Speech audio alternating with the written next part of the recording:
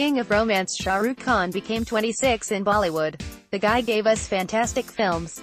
The celebrity spared no effort to entertain the target market. The actor made his debut in 1992 with the movie Deewana. But he gained probably the most appreciation by way of taking part in the antagonist in Dare. 26-year-old Shah Rukh Khan, King Khan is emotional.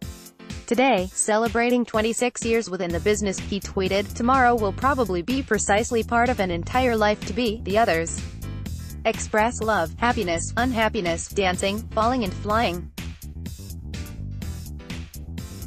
I'm hoping that I've touched little hearts and hope so as to do all of it by existence.